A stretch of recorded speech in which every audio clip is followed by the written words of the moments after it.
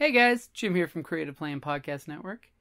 Welcome back to hashtag RPG a Day 2017.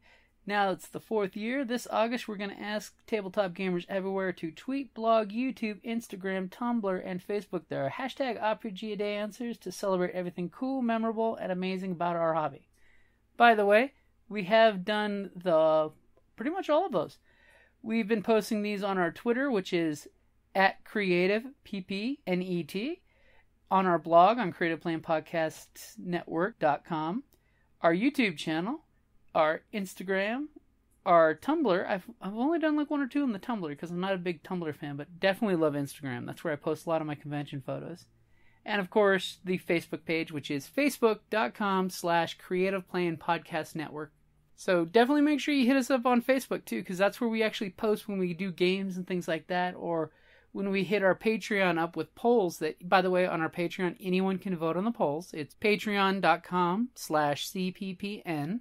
And we just usually try to do polls there to make interesting things happen in the game so that way you guys get to, you know, inject a little fun into the game as well. So that way it's not all just us.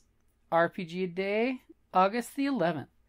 Which dead game would you like to see reborn? Now, I'm pretty sure what they mean is what uh, game system, like versions of D&D and things like that. I'm choosing to take it of which of my gaming group games I would like to see reborn. And I'm on I'm going to go with the Scion Ragnarok and Roll because I loved the Scion game mechanics. And I'm still waiting for Scion 2.0 to come out on the Kickstarter to find out how the two compare to each other, but I just love the chemistry of our Scion group from the podcast Ragnarok and Roll, a Scion hero to Ragnarok adventure. I mean, if you ever get a chance, there's stupendously funny stuff that we had happen in that game system with tons of stories. Which you've you've heard a couple of them, for, you know, the, already starting the first ten days of the of the month. But game system, I would love it if they actually it's kind of being reborn, but Scion 2.0, from what I've seen, is a little different than Scion 1.0.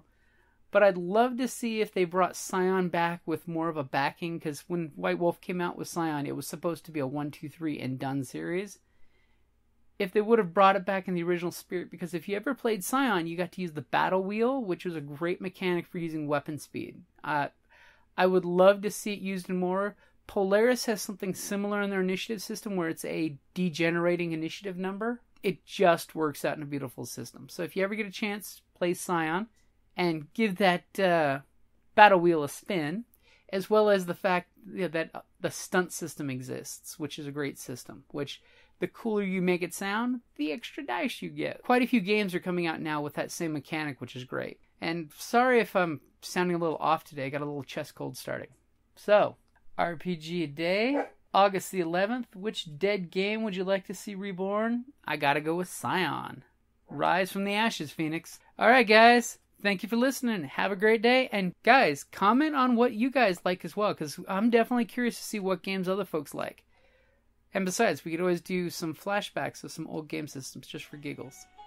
Alright, guys. Thank you for listening. Thank you for listening to the Creative Play and Podcast Network. And feel free to enjoy our other shows, such as D&D Journey of the 5th Edition and Scion Ragnarok and Roll, a Scion hero to Ragnarok story. Thank you for listening.